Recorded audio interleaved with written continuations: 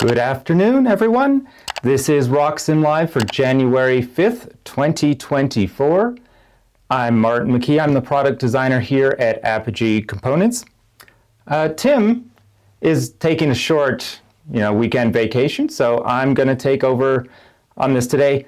I don't have really a solid plan of what we're going to do today, but uh, we'll just look at some things. So with me today, I've got well, this is something I've been working on, will continue working on, and it'll come out uh, in the next months.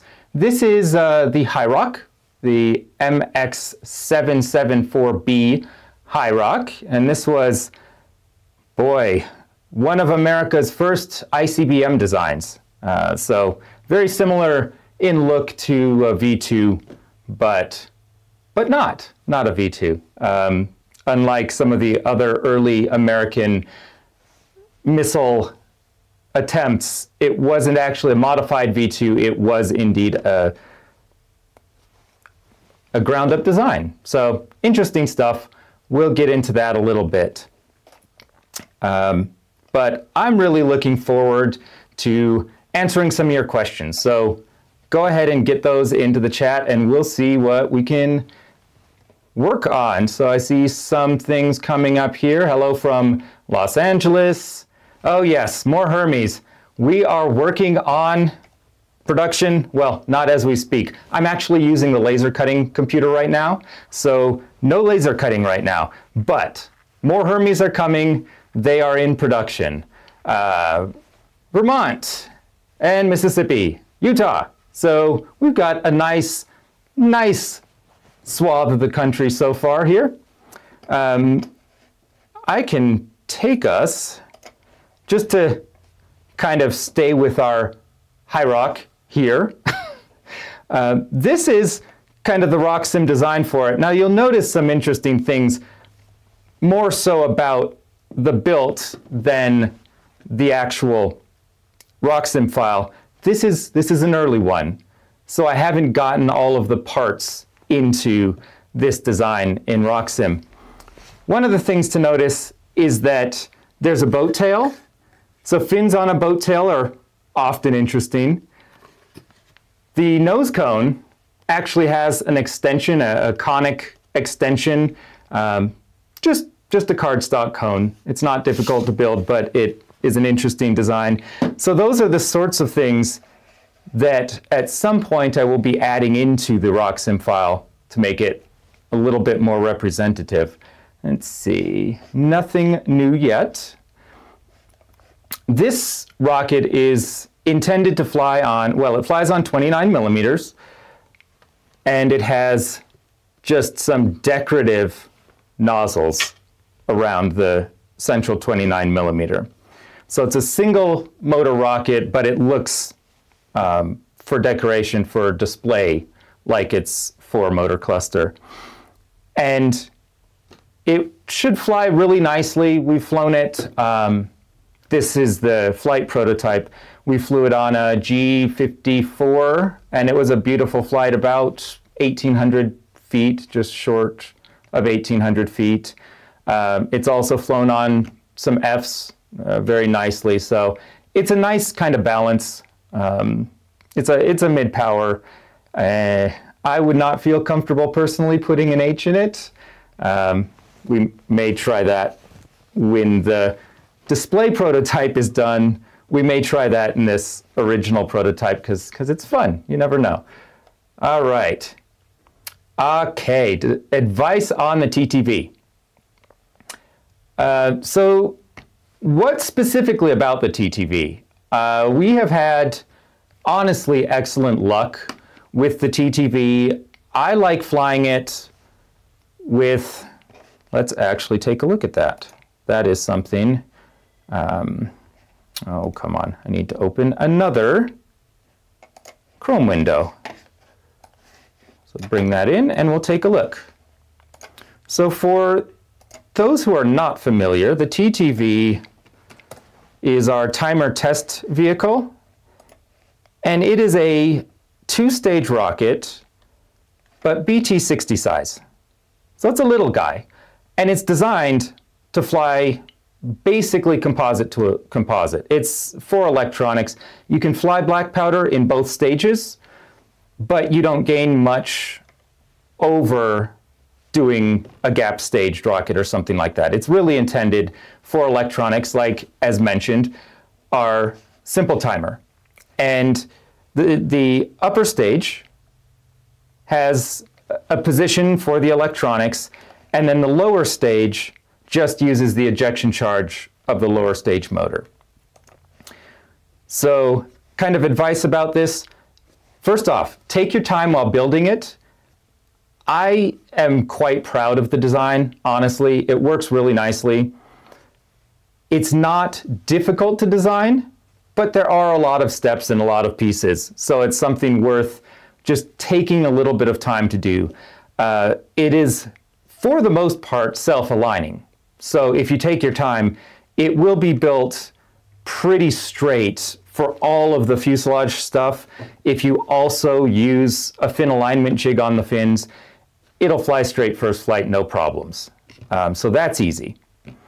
And then I always prefer on any two-stage rocket to use a higher thrust motor in the lower stage. So the TTV flies 24 millimeter in the lower stage and 18 millimeter in the upper stage.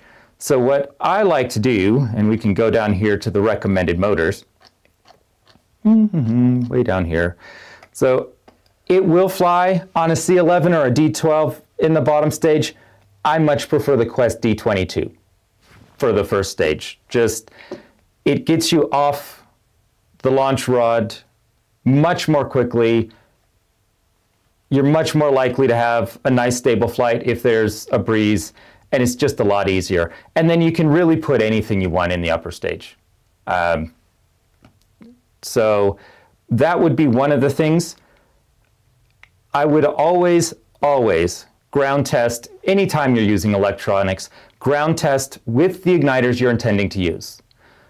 So one of the things that can happen with a two-stage rocket is that the upper stage doesn't ignite. And if you're using the simple timer, or a lot of the others, and some comments here.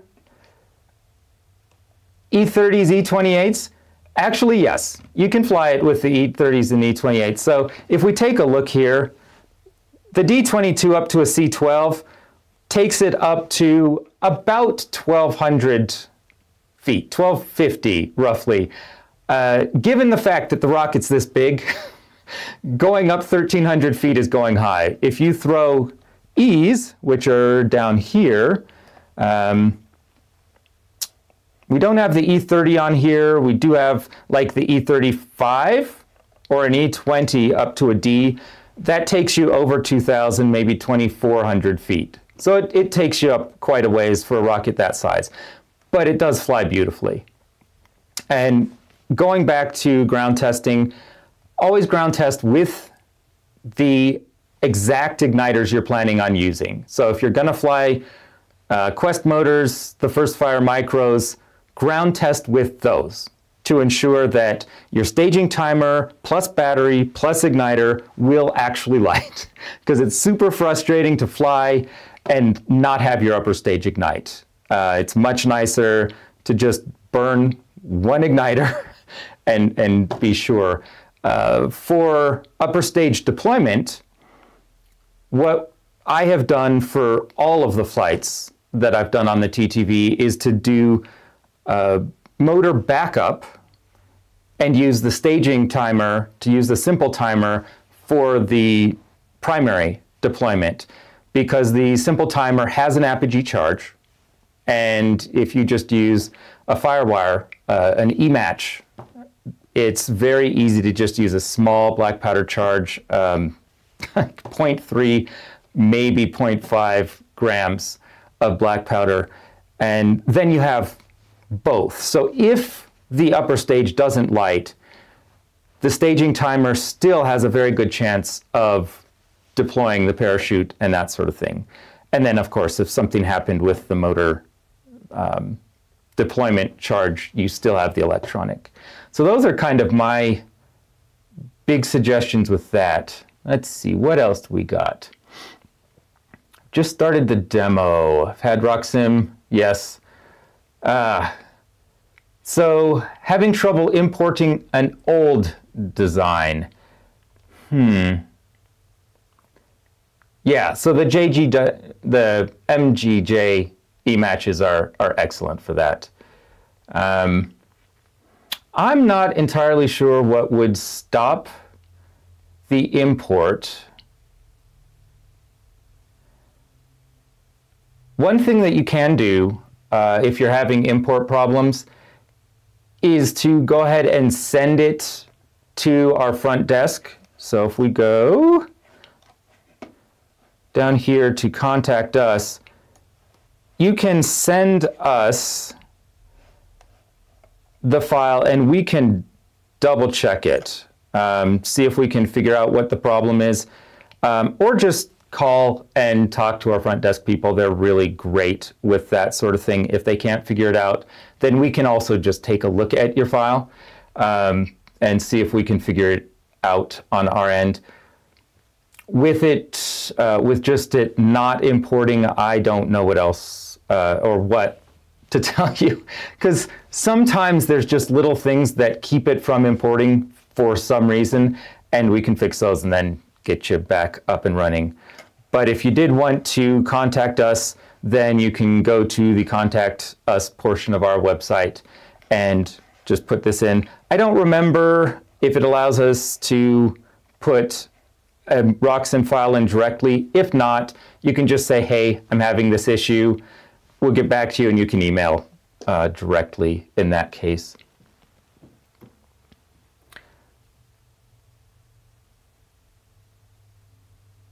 Okay, you are asking me stuff beyond my... So I am not the launch visualizer guru, unfortunately. Uh, but the, uh, the question is, Use Launch Visualizer to load an Apogee Aspire and the payload bay that you sell for it and launch it with an Apogee Medalist um, F9. So it's the, it's the F10, but that's okay. And we can get, let's bring, let's first open it up in RockSim so we can actually look at the design. And do, do, do, program files.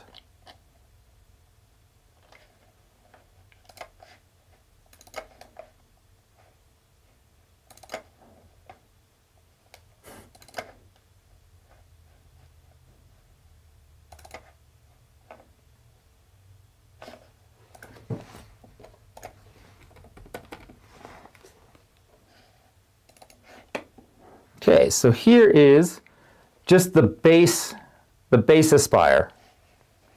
And if we look at the payload bay, hmm, doesn't just come up. Sometimes they'll come up for you and sometimes they don't, but that's all right. Let's look at payload. Mm-hmm.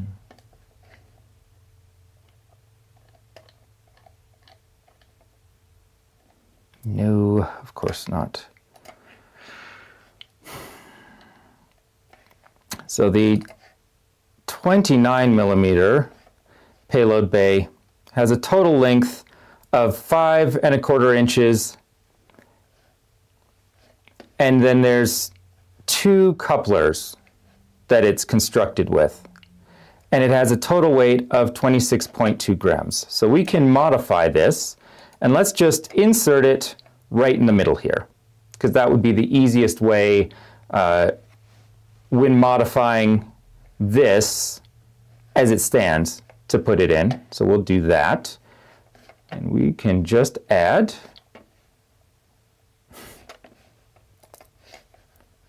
body tube after that. And we want 29, but we don't want that long. We want it shorter than that. So it is roughly 2 inches. We want to center it.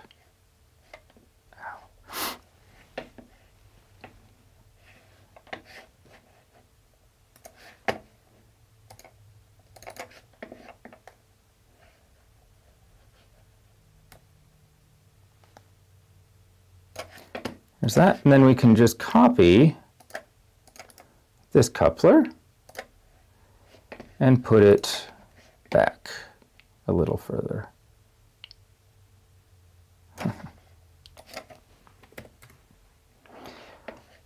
There we go. And then we're going to correct for the weight. And we could do all of these parts separately, but of course, if we're going to fly it with the payload bay, we're probably going to want to also put in some kind of electronics, and so we'll just guess on the weight for that. So this is 26 grams without electronics. Electronics will be 10 to 20 grams, so let's call it maybe 35 grams total additional weight. So then we can, in that spot, add a mass object. We're going to just do a electronics so we can remember what it was. 35 grams. And we will save this to the desktop. Spire with Bay. All right, now we can load the F10.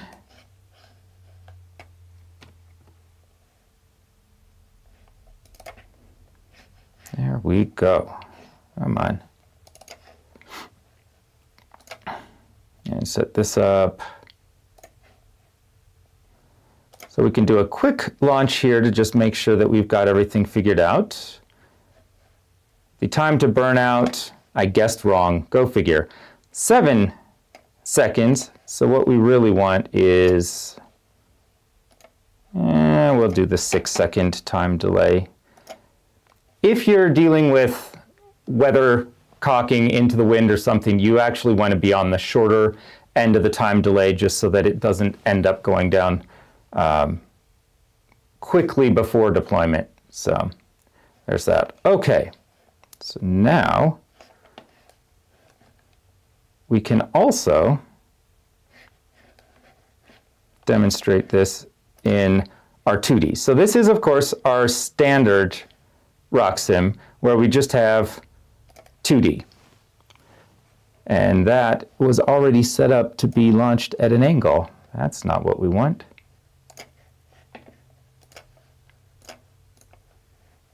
Hmm. There we go, that'll be better.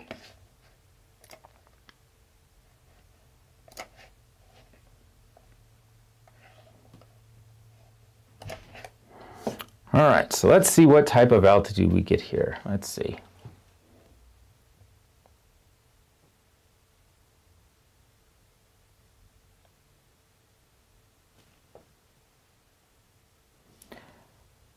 Okay, so we can look at our apogee.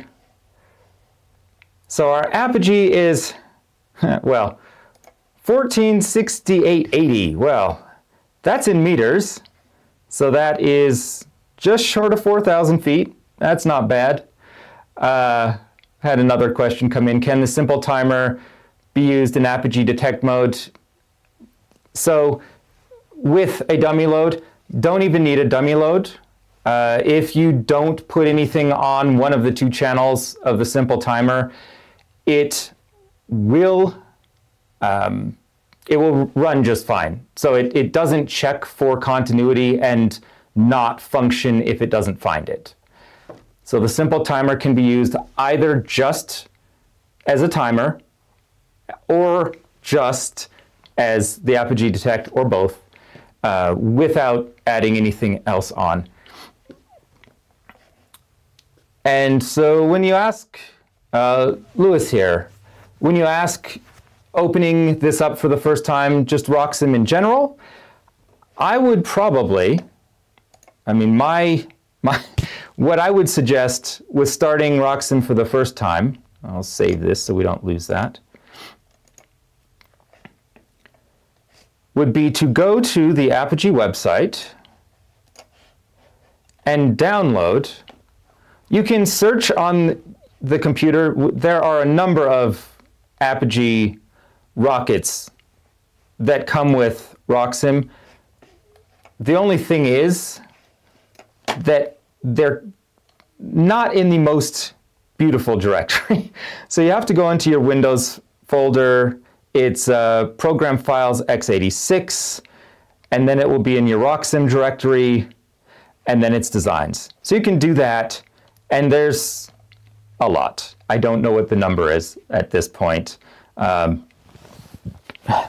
it's basically every rocket that Apogee has ever sold. So even the ones that we no longer sell continue to be in the list. So it's a couple hundred, maybe more at this point. And then you can just find a rocket. Uh, so you can, we could go to the Apogee and just like I did earlier, open up the Aspire or any of the others, uh, X15, just, just cuts. And then you would open that in RockSim. And I was just doing this from the file manager, so it's not seeing it. RockSim doesn't usually take over the file name. Um, so if you don't open it directly from, doo, doo, doo, come on. If you don't open it directly from RockSim, it won't know exactly what it is sometimes. But yeah, so you just open it up, and what I would do, you can look at the rocket. So uh, what it has right now is a side view. You can get the top view. You can also look at it from the back or look at it in three dimensions. And you can rotate it around just using the left mouse button. And of course, all of the, in this case, the black, this doesn't have all the decals on it at the moment, but all of this can be customized in RockSim to make it more attractive if, if, want, if you want that. Um, but once you kind of get a look at the rocket, most of the rockets that you'll get from us, most of the RockSim files, will have motors in them.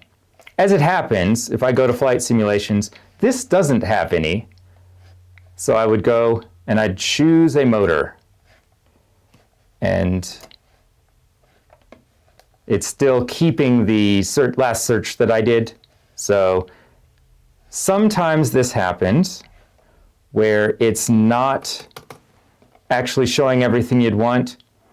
And what you kind of have to do is to just choose something in any manufacturer and then go back to all.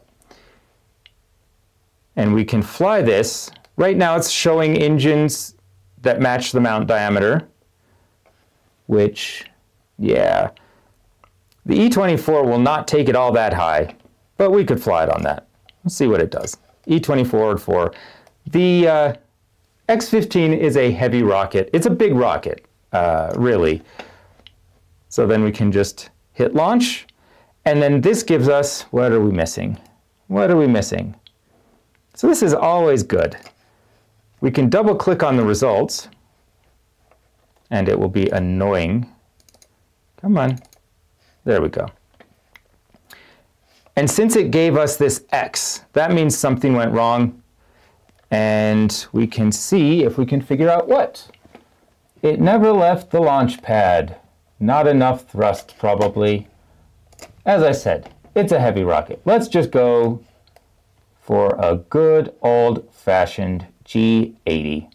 That flies this one well. So if we get load a G80, and we want to set that probably at a 7 second delay, try that. Nope, still doesn't.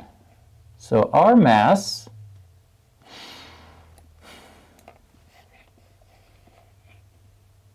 is only 500 grams. This is interesting because that motor is more than enough to get it moving. So we're running into a bug somewhere. Up, up, and I think I see it. We've got pods that are showing zero mass.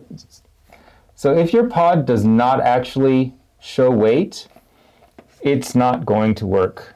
So this one was set up in an earlier version of RockSim, and this would be an interesting thing to work on because right now it's not running and we want it to run. So what we can do is look inside and figure out if we can. Eh. So this is good. We're getting a positive mass there. Positive mass there.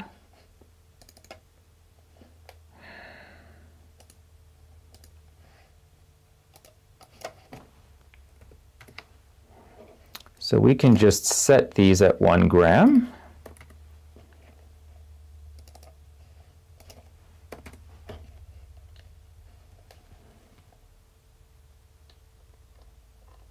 Okay, let's give that another try. There we go. So there we go.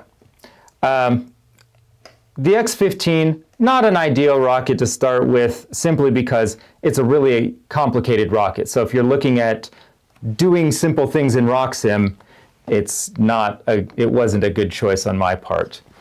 Um, and it, it might be that it's been a long time, uh, Robert, since using the program, or it might just be a small thing in the file. It these things do happen sometimes.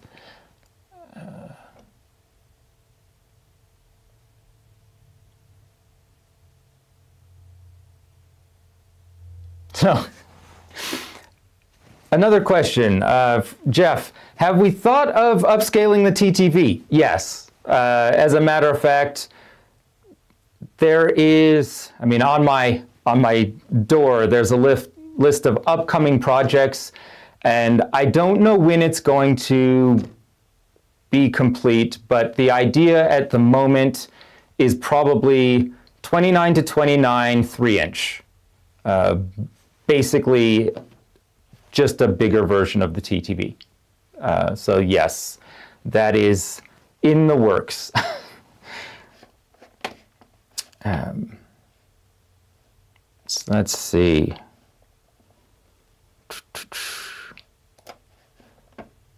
All right. Uh, what else do we got?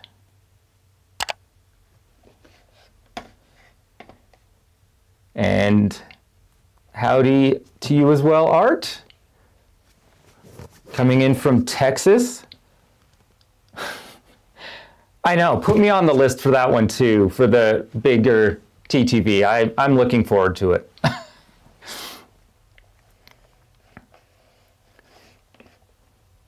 Let's see.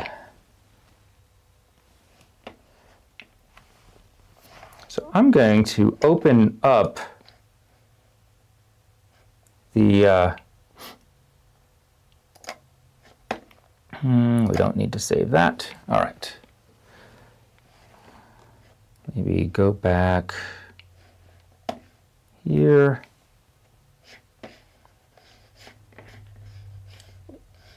Any other questions that people have? Because as I said, I didn't plan anything today. I usually like planning, but it was kind of a last minute thing.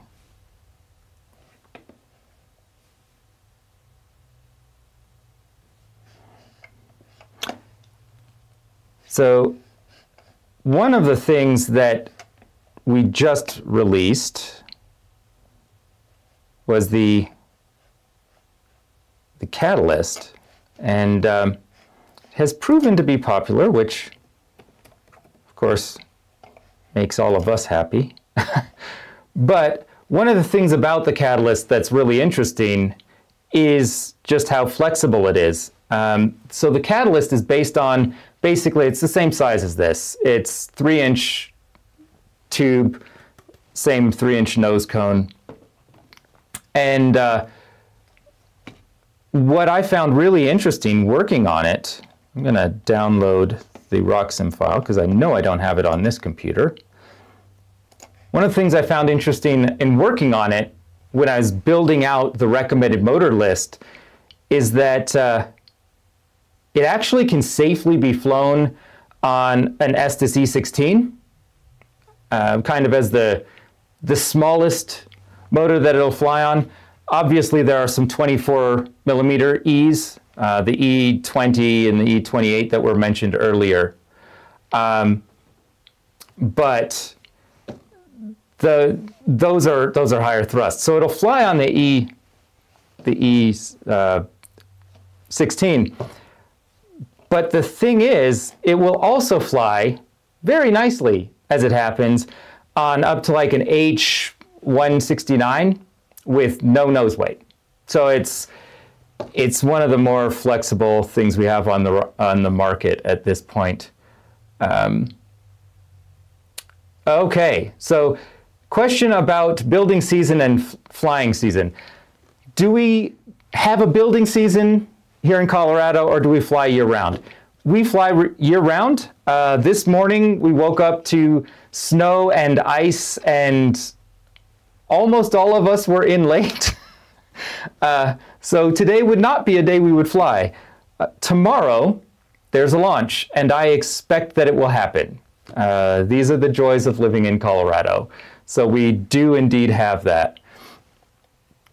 Um, why the 774? Uh, because I like it. so I want us to have more scale, but not necessarily just ridiculous, super hard scale. And one of the things that's nice about the HiROC is that it's there aren't a lot of models of it. We could do another thing that there's a lot of models of it, but I didn't want to do that. It also uses our new 3-inch nose cone for both the nose cone and the boat tail. So that was really nice use of parts that we already had. And it's just an interesting design. Um, it's it is very V2-like. So it, it, fits in that kind of thing, but it's not a, a standard sounding rocket type scale project. So it was a nice change from that sort of thing. So that was the main thing on that. Yeah. I, Robert, I think you're really going to enjoy actually both of those rockets. the Aspire is it's a heck of a it's a heck of a rocket. You put a big motor in there and it really goes. And the catalyst is is the same, honestly. Um, ah, question about the Blue Raven altimeter. So I have used it. I've done a couple of flights with it, and I, I really like it. Um, hints. Like with any electronics, ground test. Always, always ground tests. But the nice thing with the Blue Raven is that it makes it super easy to ground test. so everything is on your phone or tablet. Uh, there is an app that works with either Apple, iOS, or Android. And you can do ground tests, you can do simulations, uh, that will do the full, it'll fire all the pyros um, as well if you load the pyros. And it does all of the recording of the data. So it makes it incredibly easy to test fly. Um, one thing that I would say is make sure that you have a certain amount of wire and heat shrink tubing uh, just to do the wiring because it is such a compact design, it doesn't actually have enough outputs to plug both sides of the igniter in. So let me bring up, oh, if I can spell. I'll bring it up so we can see it here. All right, the Blue Raven. So the Blue Raven is a four-channel dual deployment altimeter that fits in a 24 millimeter tube. It's tiny. So it only has six connections on the end for the four channels and battery, which basically means that you have to connect those external to it. Um, so you would run from the positive side to the apogee charge, from the positive side to the main charge, from the positive side to the third and fourth channels, um, which just means that you need a little bit more uh, electronics ability. I mean, very tiny. It doesn't take much. It's easy enough. But uh, yeah, it's it's great. It's really nice. Mm.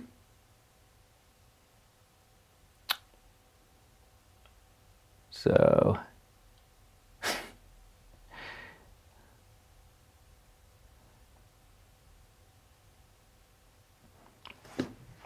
I'd like a two-stage scale sounding rocket, two inch and bigger. That's another one that is not currently on the list as scheduled, but is definitely on the list as something we want to do. Um, and the main reason it's not scheduled is that we haven't actually decided what prototype we would like to use. So we sell the lock um, Nike Tomahawk, and you know, then the modifications we have for the E-band, that sort of thing, we would definitely like our own version of something like that. Uh, but it's not currently on currently on the list, but definitely something that we would like to have. Um, moving forward, I don't know how big we're going to go. Obviously, we have lots of four inch um, parts that are our own. We don't have anything larger than that. And that's a possibility, or we may stay kind of in the up to four inch range. But in any case, I do know that we want to push more into mid power and high power options. So a, a higher power two stage yeah, the the one that's on the list is going to be simple, just like the TTV. Um, you know, just make it easy to to get reps in flying two stage, but having something, uh, a sounding rocket of some sort would be great. I mean, on a personal project of mine is I'm working on a three stage Black Brant 11 that's you know, I mean, that, that sort of thing's fun. it's just harder to make a product out of that sometimes. Um, and thank you on the AI article. That it was fun. And yeah, the the issue with going above four inches, it's just it's really expensive. And uh, I don't know how many of you have actually managed to get down to our location here, but we're kind of packed at the moment. Going any bigger than four inches is not good for our warehouse either. Um, so yes, this is a planned kit. Uh, this is, I'm building our display model here, and uh, this was our flight test model. This is the MX774B HiROC, um, early ICBM sounding rocket project. Uh, not, a, not a super successful one as it happens, but uh, it was not actually the rocket that, that had failures. It was recovery system stuff for the most part. So it's an interesting rocket. It will be out soonish. I don't know. Um, we're still doing you know, build and then have to do instructions and production, and so it's it, it'll be a bit. So I have a question for everyone watching. There comments on the AI article, which I'm glad that it's was liked. The question then is, did it make you think of anything? Did you have any ideas as a result of it? Were the kind of really simple thoughts that I had in the article.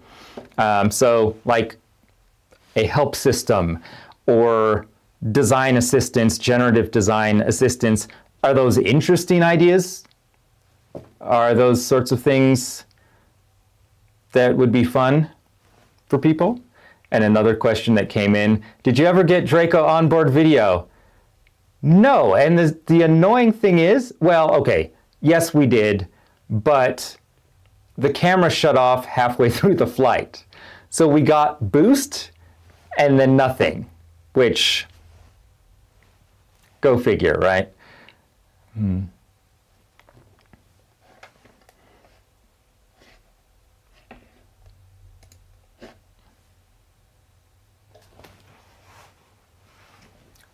Thoughts, ideas, questions?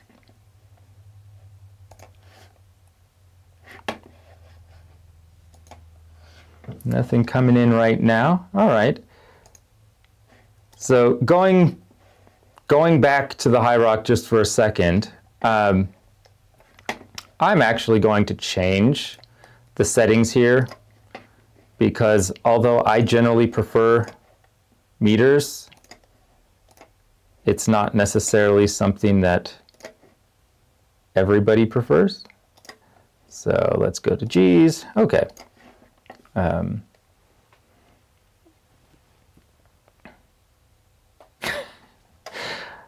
uh, Robert, don't worry about the being old part. I, uh, I, as I said in the article, I went to school for computer science and focused an awful lot on AI, and I'm still soaking it in. So, not not a thing to worry about. Um, yeah, I Jeff, I think that the AI sims or connecting AI with sims uh, could be maybe the best piece of all of that. Be, the idea of being able to, well, something like the Blue Raven that we talked about not too long ago, download the data from that and have AI look at that in a sim and actually be able to make something of that. I think that's helpful.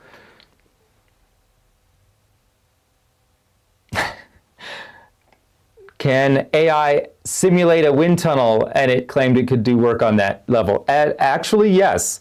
Um, what is his name?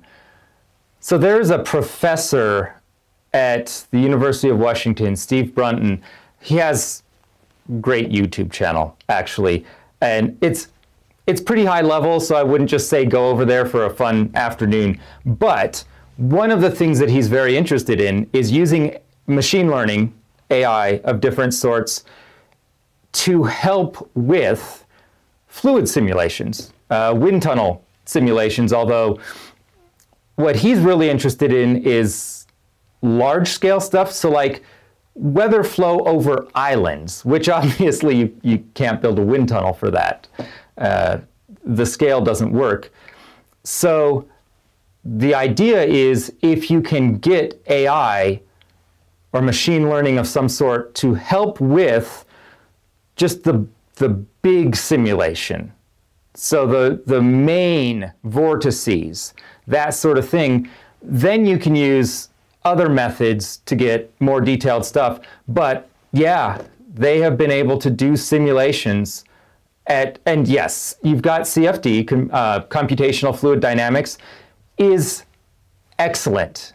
The problem with computational fluid dynamics is it's very expensive computationally.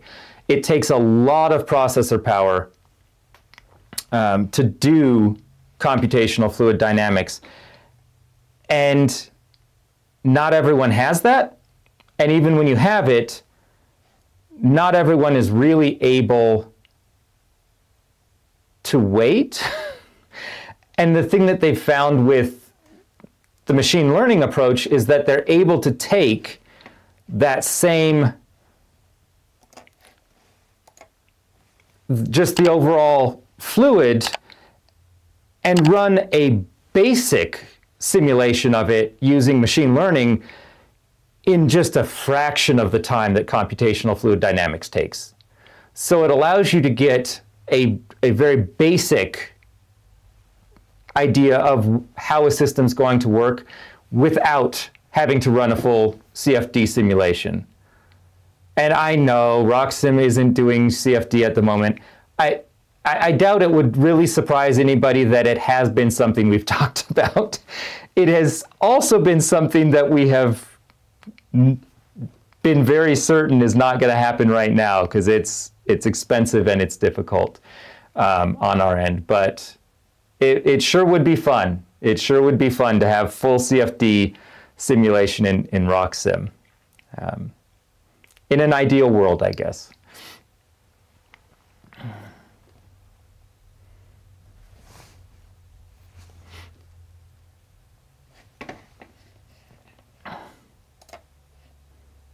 Any other RockSim, AI, general rocketry, climate of Colorado questions?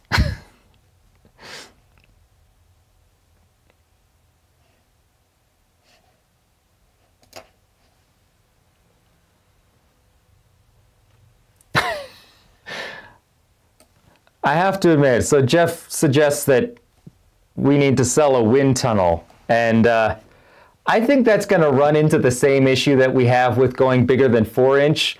Uh, it, it ends up expensive and it, it takes up a lot of space. Even small wind tunnels take up a lot of space. I, I don't know that our warehouse people would like that. so about paint, what about paint? because I I am certainly not a paint expert, but I do I, I do a decent job. I can do paint.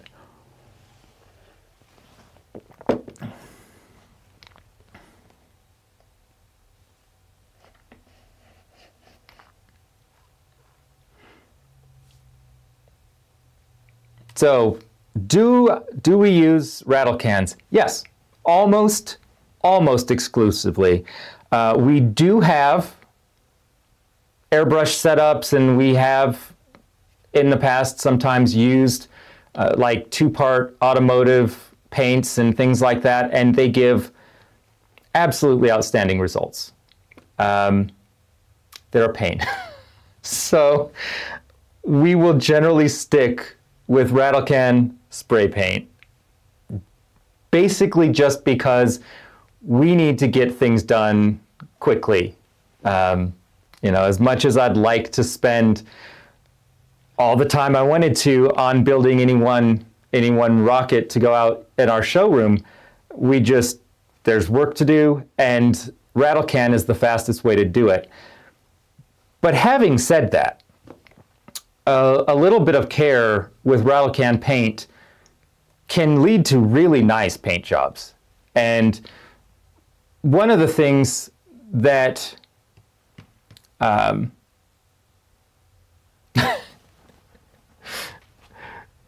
we'll do some more paint, Jeff. Don't worry about it.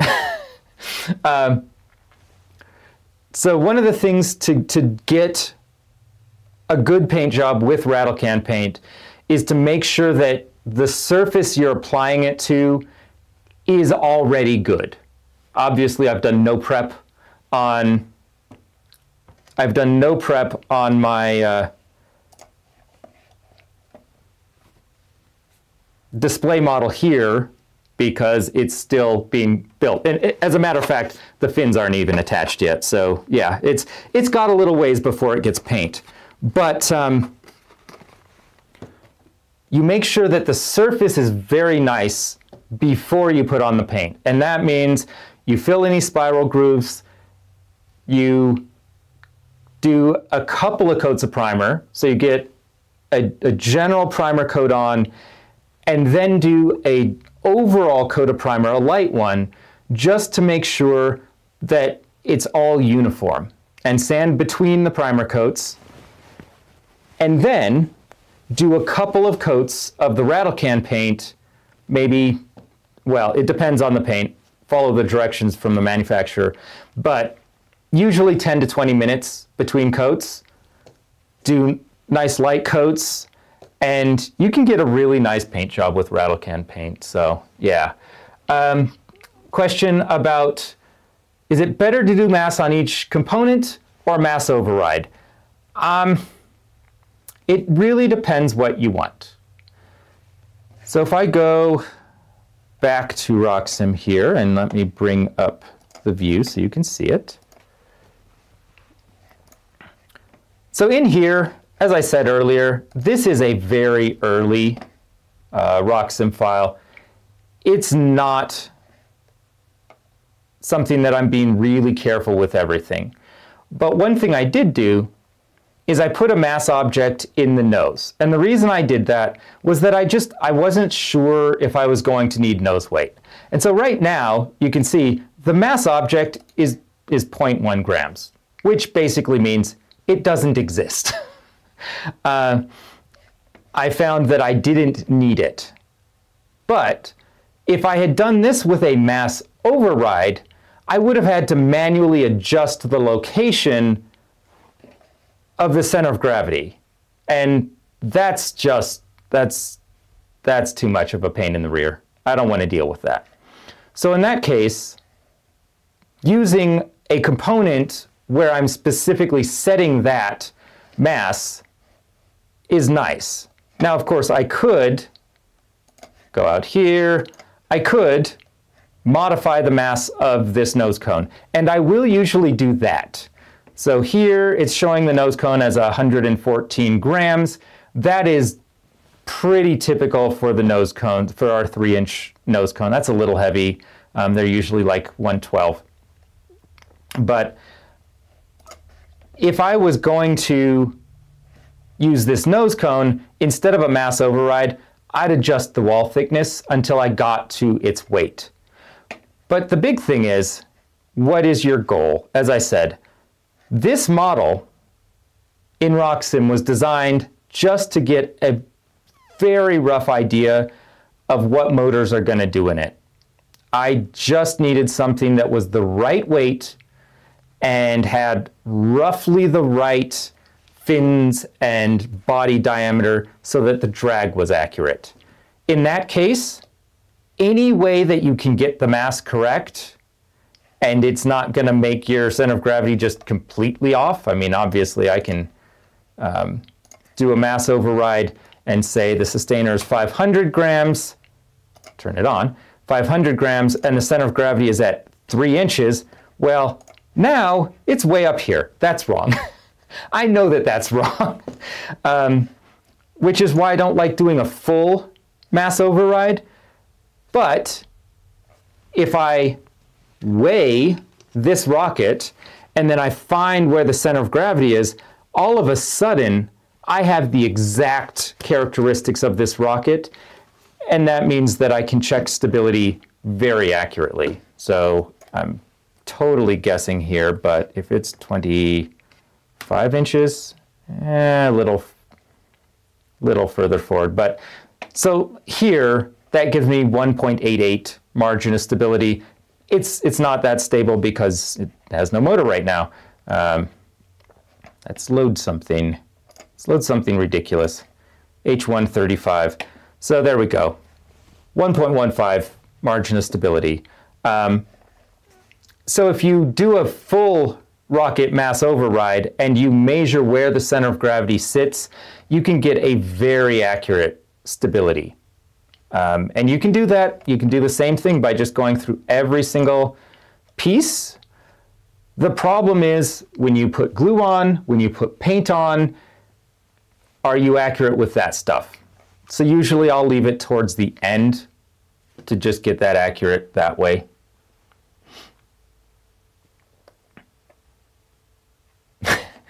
A wind tunnel in Cave of the Winds?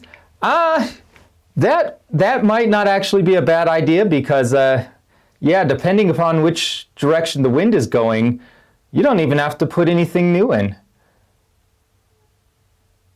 Yeah, Bob does do really beautiful work with spray paint. I there's there's plenty of people that I really wish I could do that well. I I do well, but yeah, yes. Um, and I didn't mention that. A tack cloth you want your rocket clean before you're painting. So after sanding and, and before painting, so what I will usually do is um, give it a wipe down with alcohol. After that dries, tack cloth. Because yes, it's always, always annoying to find a little, little spot on your rocket because you had just a little bit of dust from sanding. a little bit that landed on it, it, even if it's not from sanding, just something that settled on it out of the air. That's always annoying. Ruins your paint job for, for nothing really. And yeah, there are plenty, there are plenty of people, Terry, that fly naked rockets. It's a thing. I have gotten in the habit of, of painting my rockets. Um, but boy, it's tempting sometimes to just get out and fly. I'll tell you what. All right. So, oh, all in all, I think we made some interesting progress here, talked about some interesting stuff. Um, going forward this year, um, of course, last year we released 12 kits. that is not the goal this year, just so everyone knows. Um, we're going for slightly more advanced kits this year, and we're, we're hoping to release more parts also. So if there are parts that people feel we really need, let us know. Um, I mean, at any time, we always like being able to fill in those holes, fill in those gaps in our parts catalog, but especially this year, because that's kind of going to be one of our big goals, is to make sure we have all the parts that make your build just that much easier and more successful. So thank you all for coming. You have a you have a wind tunnel, Terry? That's not fair. We need a wind tunnel. I want a wind tunnel. Uh, I did get to work. I did get to work on a subsonic wind tunnel for a while. It was quite a bit of fun. It was a lot of fun. and I'm I'm glad to have everyone here. It's been a great great short little afternoon here. Um, are there any other questions, thoughts? If not, I'll go ahead and close it down here pretty soon. Give it a few seconds here to see if anything comes through.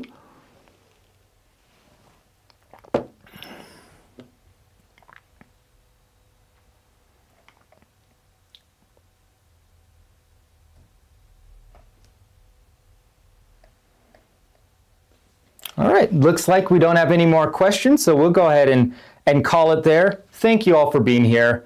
As always, our goal here is to help you be more successful with your rocket projects. And uh, we would love to hear from you if you have thoughts, if you have ideas, if you have questions, go ahead and give us a call. We always do our best to help. Let's see, do you print your color and decals on rockets yet? Sadly, no. Sadly, no. It's still flat before they get on the rocket. But is what it is, I suppose. Ah, what percent stability on RockSim should we aim for? So that's, that's a can of worms right there. Um, the stability margin here is in calipers. Uh, so one is the minimum that you generally want. Going up to about two is fine. Going above two, you're likely to just weathercock, just tilt into the wind. Um, Percentage-wise, somewhere between 8 and 15% the length of the rocket is generally considered good. So between 1 and 2 calipers, or 1 and 2 times the, the diameter of the rocket, and then percentage-wise, between 8 and 15% the total length of the rocket. And you can change that um, setting in, in RockSim if you want. So I think we're going to call that there. Have a wonderful, wonderful afternoon and uh, Happy New Year.